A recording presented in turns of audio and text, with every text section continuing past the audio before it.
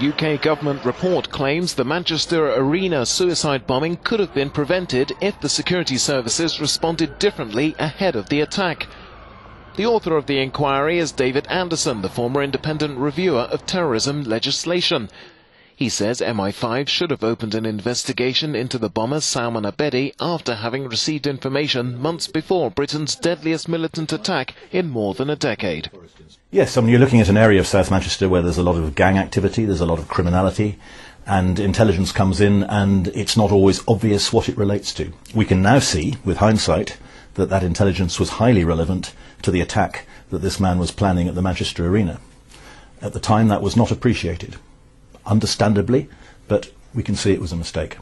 The findings follow a review of the roles of MI5 in four attacks in London and Manchester between March and June this year that left 36 innocent people dead.